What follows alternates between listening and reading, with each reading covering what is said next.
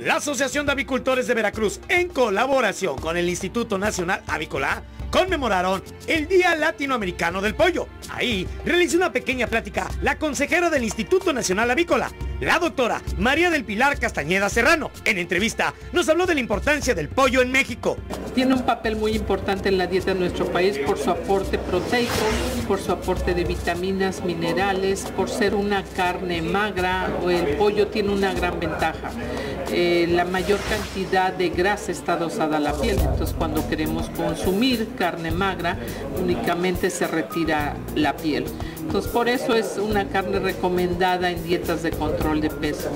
Una, una ventaja muy importante en nuestro país y a nivel mundial es que la carne de pollo comparada con otras carnes es una carne de bajo costo.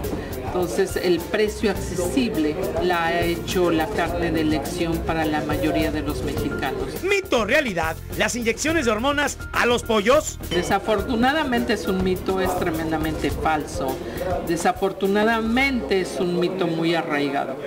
Eh, y esto a que se convierte en un mito arraigado ha sido también creo producto del desconocimiento de sectores que tienen que ver con la salud. Eh, ¿Por qué es un mito? ¿Por qué es una mentira?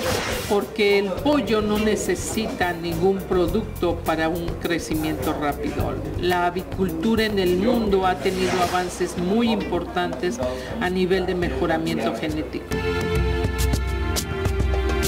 Muchas felicidades a la Asociación de Avicultores de Veracruz.